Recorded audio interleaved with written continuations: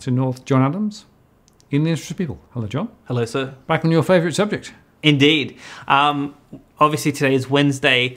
Uh, you had a very interesting live show with Tony Locantro yesterday, um, where, where you got Tony's views um, about what he sees with the property market, the stock market, the general economy.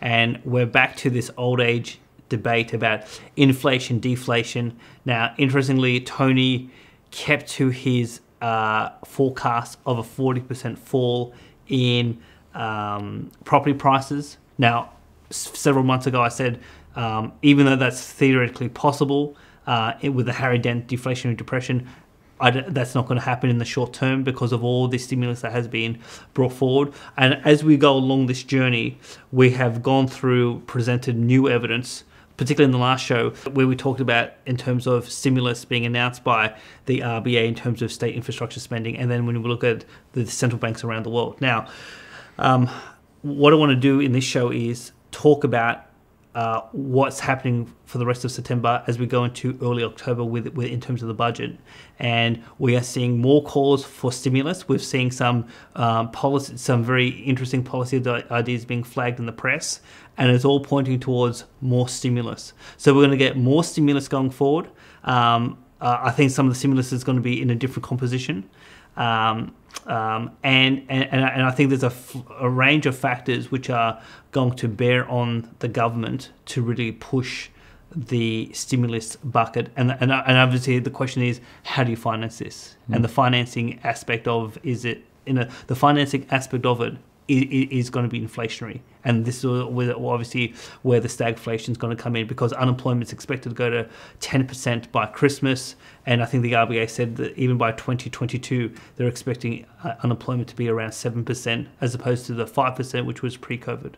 Yeah. And it's full of interesting moves here, right? Because a couple of the banks have come out and basically uh, revised their down movement into a much smaller number, right? And basically saying, well, unemployment won't be as high. And CBA came out today and said, oh, we've revised our home price uh, estimates now, and we think there's going to be only a very slight drop, and then it's going to take off again next year, right? So it's quite interesting how we are seeing some of the mainstream economists now becoming less negative.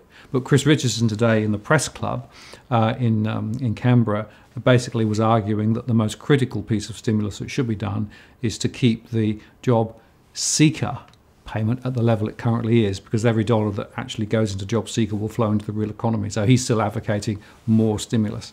And of course, Grattan also came out today and they've got a big argument too. So pretty much everywhere you look, everyone's saying, let's just throw some more money at the problem, right? And then everything will be fine. Except the question is, will it? What I want to do, Martin, is to, to obviously talk about quarter four. So uh, now during last week, we saw the GDP number being released for the second quarter, yep. and that was negative seven. So that was, I think, a, a, more dire number than what the consensus was. I think the consensus was minus six. Now we're in quarter three at the moment, which is from July through to September. The treasurer said that he's expecting the GDP to be between zero, either flat or it's going to be negative again. So we could have three quarters of negative growth, and then um, I was contacting a number of journalists last week to, to, to feel for what is quarter four looking like, and the expectation is about between one to two percent in terms of what that in terms in, term, in terms of the growth number. Now, from the 28th of September, uh, I mean, obviously, it's a very looming date for a lot of people across the country because this is when uh, JobKeeper and JobSeeker are supposed to reduce um, in terms of the first time, and then we're going to obviously see the federal budget being released on the 6th of October. So, so, we, so and there's going to be a whole host of new announcements um, that are going to be announced in that budget. Um, and obviously, one of the interesting thing with with a lot of these forecasts is a lot of these numbers and a lot of these projections were done before the second lockdown in Victoria. And, and it is interesting now that we're going through a second lockdown um, in Victoria you still have some banks who are more bullish on the economy than, than the Reserve Bank or Treasury. Yes. So there's a whole bunch of who knows, right? And I'm, it is intriguing that a lot of the economists are actually banking on Victoria opening sooner, probably, and that effectively the rest of the country coming back relatively soon now. So, John, you know, it's worth noting that the reason we're so concerned about the forward view is that JobKeeper and JobSeeker are going to be withdrawn, Yeah. right? And the withdrawal is quite quick and quite deep, isn't it? Yes, yes. So, so we've got a couple of graphs that we're going to actually put up now. The first graph is something that you raised in a, in a DFA show, whi- whi- which is a graph from the uh, in terms of UBS, and and and so, and so that graph basically shows that from quarter two to quarter three, we see a massive increase in, in stimulus, both in terms of dollars, but also in terms of proportion of GDP, and then and then I think it's around twenty three percent in the third quarter, and then we see it fall to about seven and a half percent in quarter four, and Of GDP. of GDP. Yeah. Uh, yeah, yeah. Um, and the reason why we see this massive fall in, in fiscal stimulus is because of this reduction, particularly around JobKeeper in terms of job seeker. So, so what are those key key aspects that are going to start from the 28th of uh, September? Because to be honest, I knew some of it, but then when I saw some of the de- finer detail, um, there was one particular aspect about JobKeeper that I was I didn't actually know because I'm because I'm not actually on the payment. So so when I looked at this, I'm thinking, wow, I mean th- th- that, that's actually going to be bigger than what I thought it was going to be. It is quite tricky, isn't it? Because they've actually sort of bifurcated the, the streams, and you know, people who perhaps thought they would have been on it aren't necessarily going to be on it now. Indeed, indeed. So, so yeah. So I'm glad you mentioned that point. So, so one aspect is, is that the eligibility is going to be tightened up. Yep. So, so there'll be some people who are on 1500 a fortnight now under on JobKeeper who will just not be eligible at all. And then obviously, if they have no financial buffer, that's going to be an issue. But those who still qualify for JobKeeper, um, the, the aspect that I didn't fully understand until I looked at this the other day is um, your payment is based on how many hours you work pre COVID. So basically, if you are on 20 hours or more a week, um, you are eligible for 1200 a fortnight. So you go from 1500 to 1200.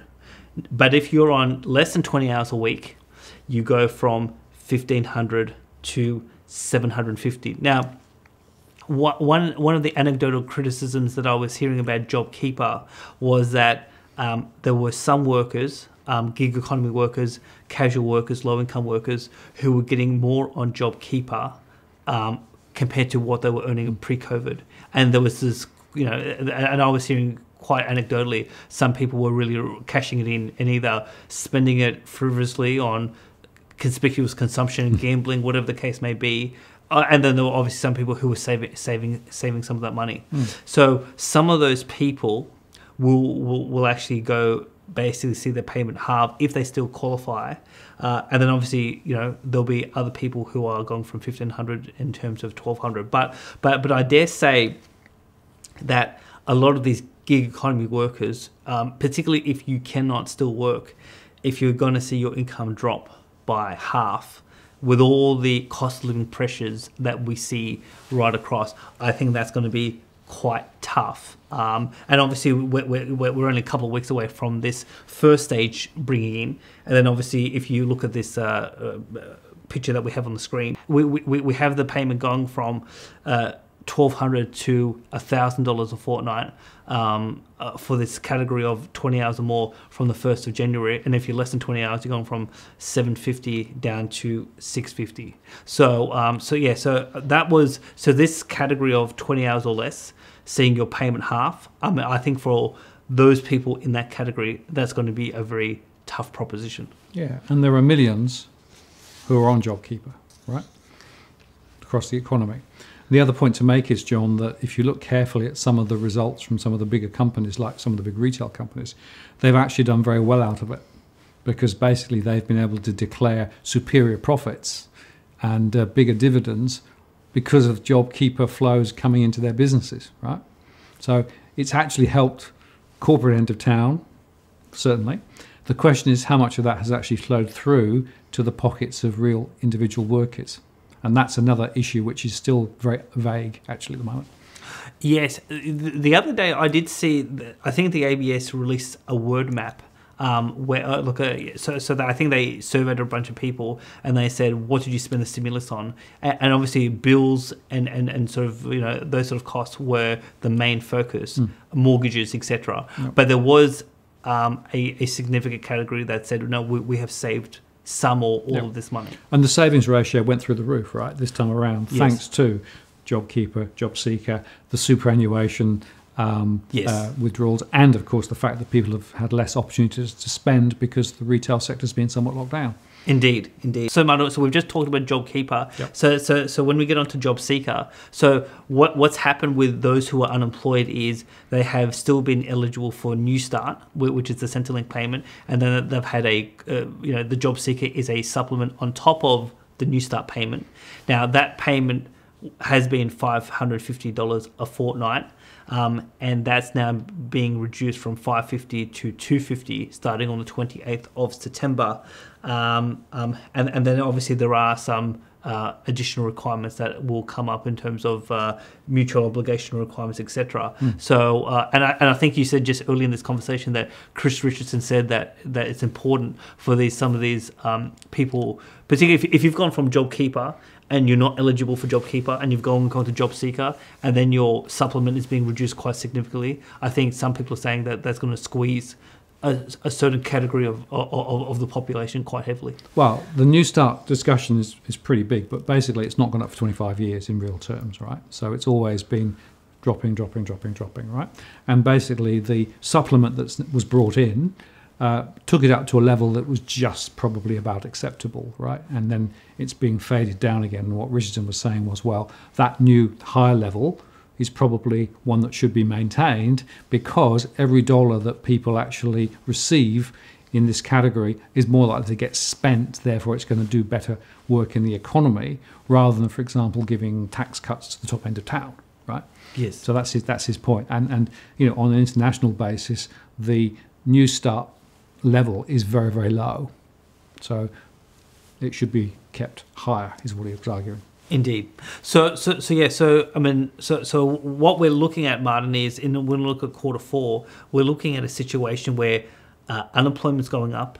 Uh, a bunch of people are going to be either re- having reduced payments on JobKeeper, or they or they're going to be shift to JobSeeker, and and the fall of income from JobKeeper to job this reduced job seeker is going to be quite heavy, and, and and that's obviously where the anticipation of of this cash flow crunch in terms of the rise in unemployment and where we expect more pain, particularly in your household survey, is, is really going to sort of come to the fore. Noting that even before these changes, rental stress and mortgage stress, according to your index, is at an all time high. Yeah, absolutely. It's worth saying, John, one other thing, and that is the government has extended the don't worry about trading insolvent for a bit longer to That's the end right. of the year, right? Yes. Because that was something else that was, was going to drop off at the end of September. Yes. So that's been now extended to the end of the year, which gives people a little bit more wriggle room if they've got a business that's not actually trading well. But nevertheless, the data from the um, SME survey suggests that a lot of people are going to really struggle over this next three or four months. So, Martin, um, the the importance of, of these changes with JobKeeper and JobSeeker is, um, you know, we're we're obviously going to see this crunch in terms of your household data, Yep. um, um, and obviously the purpose of these additional calls for stimulus is all about saving these people from default. Because if they were to default, um, you know that you know you would see this uh, debt bubble collapse, um, and would go into the Harry Dent deflationary depression. Now there, there is a aspect uh, in terms of politics, in terms of um, the the lockdown strategy to deal with COVID nineteen, which I've been heavily critical of. It was government induced, um, and governments at state and federal level have caused uh, pain by these decisions, and, and obviously there is a feeling that that they're responsible for this. So so, so so so you have some so you have some issues around that. So but but but really when you start to look at so so there's two aspects of these calls for more stimulus. Part of it is these institutional voices. Part of it is um, the ordinary battler, as well as the, the mainstream media. So we're going to focus on these two groups. The first group is so so obviously we have the Reserve Bank, we have like groups like Grattan and uh, banks, etc. The type of uh, stimulus they're calling for is really about infrastructure spending, and obviously this is about keeping people, or you know, creating new jobs. Noting that with your survey data, we're knowing that there's going to be a retreat in the private sector and their capacity to provide employment, particularly over the next uh, you know six to nine months. And one of the important points you made with Tony yesterday was that you know, and this was a comment you made about real estate, but it's I think a comment important about the broader economy, which is um, these things take time. So even though we will see a cliff happen in, in a couple of weeks' time when JobKeeper and JobSeeker change, the impact of that will actually compound as we go forward because as so while people may be having a bit of a buffer now because they may have saved some money that money when as soon as that money runs out and that does take some time that you know obviously th- things things start to um, intensify mm. in terms of the financial position so the recovery that the RBA and others are banking on is we're going to get to 10% unemployment by December, and then we're going to see unemployment go down because the economy is going to open up. But we're also going to provide new employment opportunities where the private sector can't provide it. And, and, and obviously, that's where this infrastructure spending um, comes into it. And obviously, the question with that is, well, how do you finance that? But but we obviously have the RBA, and we covered this in the last show. They're calling for 40 billion uh, in terms of additional stimulus. Now, interestingly, um, back in June, the Grattan Institute called for 70 to 90 billion dollars of additional stimulus to help this recovery, uh, heavily focused on infrastructure. Now, they published an article in the conversation this week, and let's put that on the screen. And what they're saying in this new article is, is that because of the stage four lockdown in Victoria, the bill is actually much larger. So, so it's not 90 billion anymore. Uh, now they, didn't give a revised figure as to how much more, but they're saying we need to spend more money. Um, and and obviously um, now the, one of the problems when you have uh, stimulus based on infrastructure, one is um, is there enough re- uh, shovel ready projects to be to be able to spend to to be able to create those jobs? Um, because there is a timing aspect, but uh, and, and, and obviously the, the problem I think we're going to see is we have um, as you reduce income support, we're going to have this uh, immediate impact on household budgets. And, and if it takes too much time to create these jobs, then, then uh, a lot of households are going to um, suffer in, in terms of the in terms of the short term thing. So so you can spend all this money, um, and obviously that's going to be the focus because you know this decision, which is the biggest fall in GDP since the Great Depression, it's going to be it's going to have a two or three, four, five year impact, and obviously this increased call for for, for infrastructure spending is to smooth these issues over that two, three, four, five year period. Right, but the nature of the jobs that will be created around infrastructure will be quite specific, right? A lot of construction jobs, etc., etc., right? I suspect there'll be many people who won't necessarily fit into those new jobs that are being created. I noticed that there's quite a lot of senior managers and middle managers in a number of industries that are actually losing their jobs, right? Eh, some consultants, right? I'm not sure how many consultants will be able to actually go and turn their hand at digging tunnels, for example, right? So, I mean, it's a really interesting problem in terms of how you find jobs and build jobs in different parts of the economy uh, for people with perhaps different skills. It's, it's, you know, so there's got to be something there as well, I suspect. Yes. Now, one of the interesting aspects of so before we get on to this political call for stimulus, the interesting aspect in terms of how they're going to finance mm. the, in terms of the economic stimulus. So we saw a very interesting article in the AFR only a couple of days ago, where they where the government will announce this in the budget, and we you know, we we don't know all the detail yet, which is to say that um, the banks will, sorry, the government will require the banks, uh, uh, and this will be APRA enforcing this on the banks to to to to hold about 240 billion dollars of government bonds, so federal and state government bonds, and so basically what we understand it to be is the RBA has uh, increased its uh, term uh, financing facility. Um, uh, up to $200 billion, where they'll provide three year loans at 0.25% interest. And so they'll say to the banks, we'll give you, uh, we'll just print all this money out of nothing. We'll give you a, a cheap loan, cheaper than the wholesale market. But part of this condition to get this liquidity is you've got to um, basically pour this into um, uh, uh, particularly state government bonds. Mm. So, so, so this is effectively a merry-go-round of QE, but rather than the RBA buying now, the RBA is still doing QE, so they're going to directly buy state and federal government bonds, but they're also going rather than exploiting the balance sheet, they're basically saying to the banks, "Well, you take some of it up as well." And what they're actually doing, John, is replacing the committed liquidity facility, which is something which the RBA has with the banks, and allowing the banks to basically use these types of bonds in their capital structures. So it's got two intents. The first is to increase the capital structure of the banks, right? And secondly, to do the merry-go-round, you know, quantitative easing, whatever you want. So it's got those two aims. Yes, yes. Now, um, we will talk about this after the budget's released, but I think this this is a very big deal because mm. I asked you and I asked a couple of other people who have deep experience in capital markets and I said in public policy, I said, "Have you seen this before?" And they said, "No. Look, look, this sort of requirement to force banks to buy."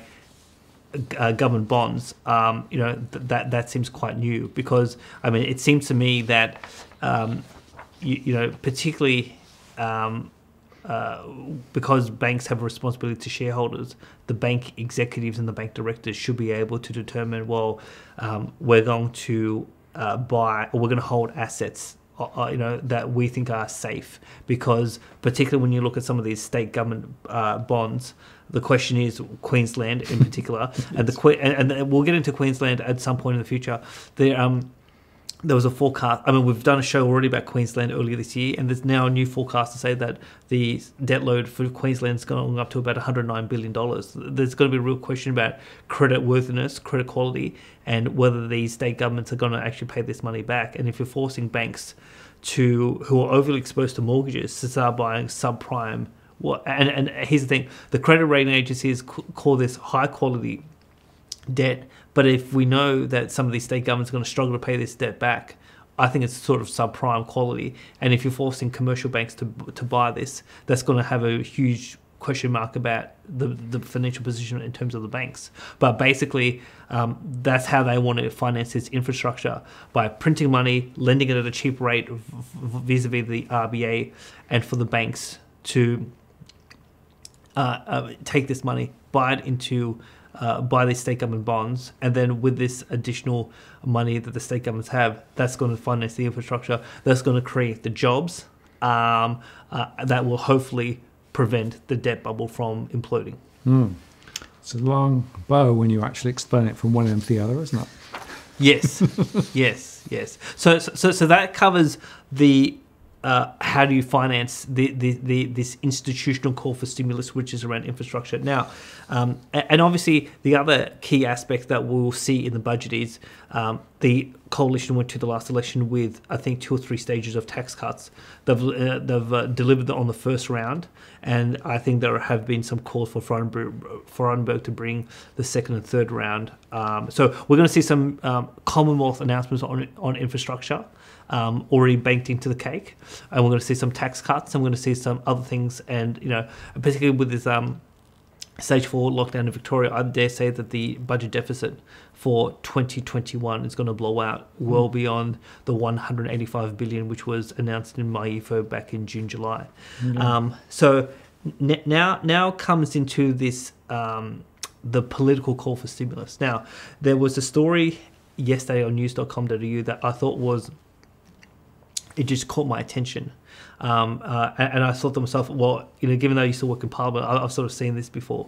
So we have, we have, and let's put this on the screen. So we have uh, a, a, a, woman who is on JobKeeper, is going to have a reduced payment from fifteen hundred to twelve hundred. Who was on a good wicket in the hospitality sector, who can't work at the moment because of the restrictions, and basically she's saying that once she factors in rent, uh, paying for her car loan, insurance, a couple other bills, she only has $40 a week for food. And how do you survive on that? And obviously, um, the way the story was framed by the press was a hard trodden Australian um, who's struggling to get by because of this lack of income support.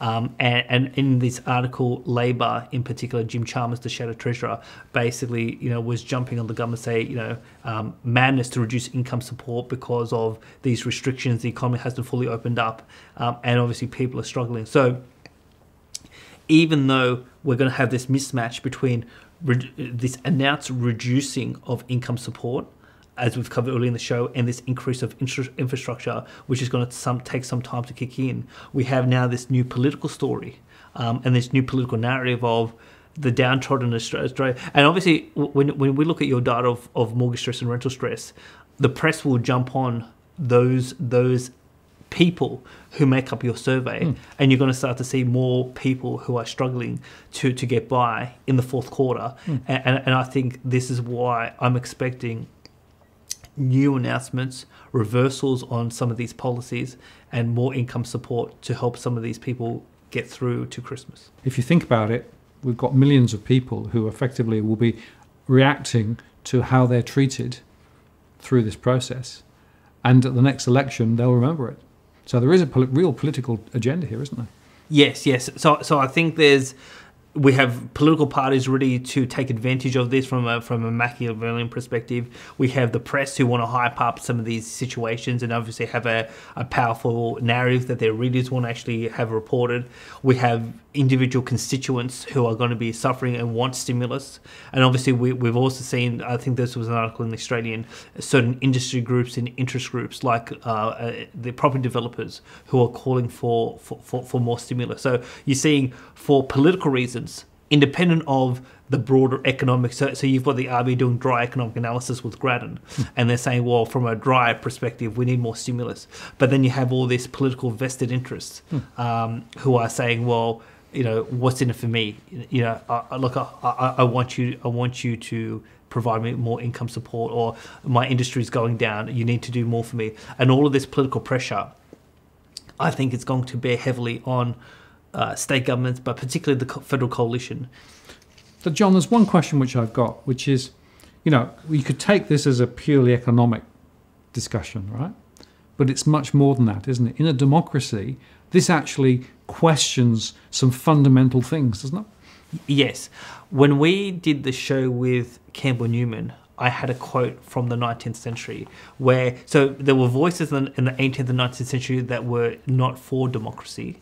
Um, and, and these were not from third, you know, from from, from uh, totalitarian regimes. These were uh, from the from the from the uh, from the UK as well as from the United States. And and so th- there was a quote that we I said with Campbell Newman. I think it's still worth.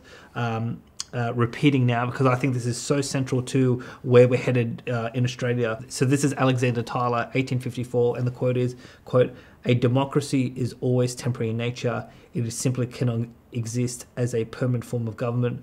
A democracy will continue to exist up until the time that voters discover that they can vote themselves generous gifts from the public treasury. From that moment on, the majority always votes for the candidates who promise the most benefits from the public treasury." With the result that every democracy will finally collapse due to loose fiscal policy, which is always followed by a dictatorship. Now, um, I'm not sure about the dictatorship part, but but the key point of this is is that as we see more calls for stimulus from people who are hurting, um, f- um, in, in terms of people who can't get by, uh, and as unemployment goes up, the public um, and, and you can talk to any politician off the record they will say the public does not care about government debt there is no appetite to pay back the government debt people don't care about surpluses people just you know want additional payments particularly when they're hurting because they don't want to go through tough times they don't want to face the consequences of their um, of the, of the ill sort of formed decisions.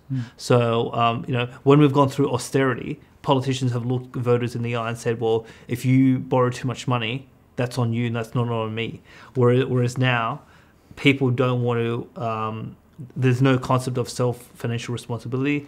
You know, you government help me out, um, and, and obviously the Australian people en masse, and this is maybe controversial to say, but I'm willing to say it. En masse, Australians have realised they can get something for nothing from government, um, and there's enough of them to sway elections.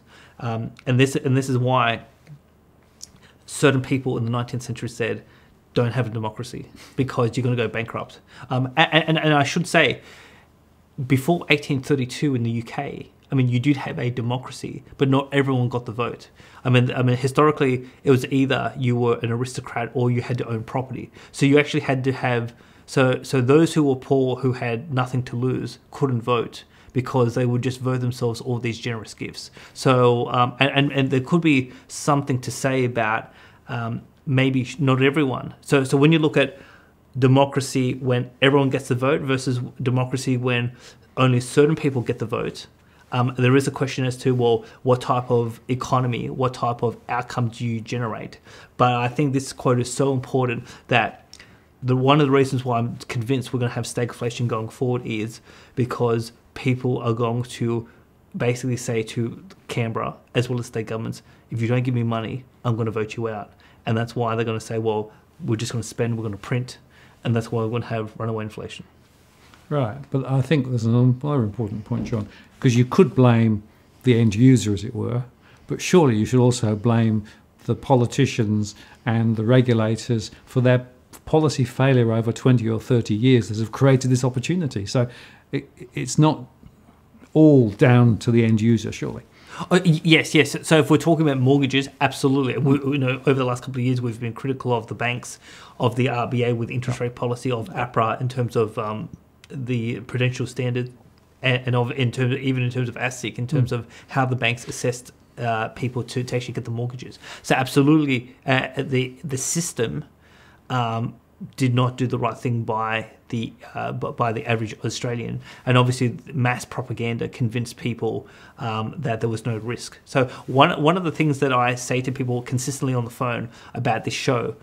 Th- this show is effectively two aspects. It's an anti-debt show, and it's a show where you and I believe that the level of systemic risk is far higher than what the average Australian believes. And and so, if the average Australian believed that signing a million dollar mortgage was risky, most of them would not do it. Mm. But the reason why they do it is because they've been brainwashed to believe that, that it is a, a, a less risky proposition. And that's why they're willing to do those sort of, what in my view are crazy things. So, absolutely, the system has been um, uh, at fault. But also, I would dare say now, um, I come from a from a house from a from upbringing where we, where I was where I grew up not to be in heavily in debt and to mm. be out of debt. Yep. So so at 38, I have no debt. Now I had the I, I could have signed a million dollar mortgage, but I didn't. So so so I I took. Even though the system was telling me to borrow, I rejected the system, and I, and I basically have taken a, a, a prudent decision. Um, so, um, so, so yeah, so so but for those who swallowed the propaganda and signed the million dollar mortgage, those people knowing that they can go to the politician and say, bail me out, help me, otherwise I'm going to destroy your political career. I'm going to vote you out of parliament. That's the that's the crux of why we're going to have a runaway inflation, stagflation situation because of this quote and what that actually means in a democracy when, when everyone gets the vote. And, and, and, and, and that's why I expect. So, you know, for Harry to be correct, people have to default defaulting comes at a huge political cost for governments. Now, in the Great Depression, um, in previous depressions, governments during those periods were willing to look constituents in the eye and say, uh, you know, we're going to actually allow this bubble to collapse and we're mm. going to restructure the economy. The modern politician in the modern age doesn't have that gumption, and I think the pol- these politicians are going to wilt quite heavily, and this is why I think we will see more, more stimulus, more reversals. And, and, I wouldn't be surprised if these announcements on JobKeeper and JobSeeker get reversed in some fashion in the fourth quarter. Yeah. So we can pretty be much be sure that there might be more money poured into it. And uh, there will be a cost of that, of course, in terms of servicing it, which probably be quite low because the interest rates are really low on, on funding at the moment.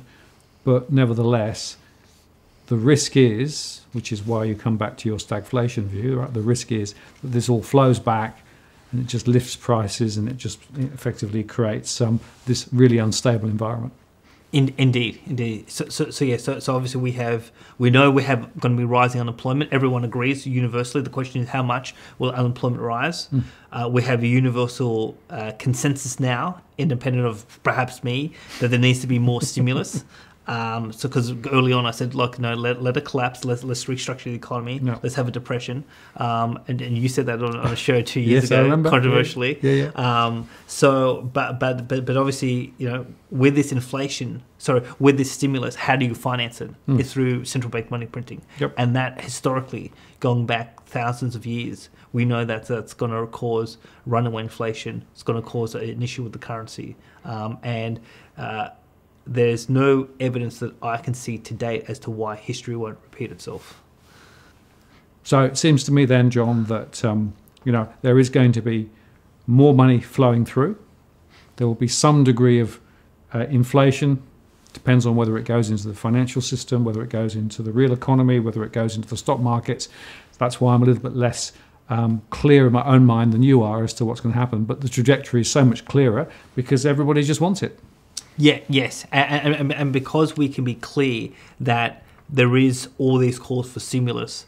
Um, I mean, and, and one of the important points on this, Martin, is I have had a conversation only in the last few days where a certain individual uh, who watches the show, who has a significant amount of money, has positioned his portfolio based on the Dent thesis, um, and, and, obviously the, the, the evidence. So, so this is not about um, who's smarter than who, mm. but it's just looking at the evidence. Yep. The evidence is we are seeing huge amounts of stimulus already. We're seeing more calls for stimulus from institutions around infrastructure. We're seeing political pressure being building from a whole range of vested interests to say, you know, you, you know, don't let me fall through the cracks, and, and putting all that together and noting obviously how this uh, stimulus is being financed. It, it, it points to more evidence that we are going to not only are we experiencing stagflation now, we're going to see stagflation going forward, and obviously as I said in previous shows, in a situation where you have um, compressed incomes either through unemployment or unemployment as prices are rising, your mortgage and rental stress data is going to perhaps see higher highs um, moving forward into quarter four and in 2021. Yeah, well, we'll keep monitoring, John. We'll keep talking about this because it's probably one of the most critical issues that we ever touch. So thanks for your time today, and uh, we'll pick it up again soon. Thank you. Martin North, John Adams, and interested people. We'll see you next time.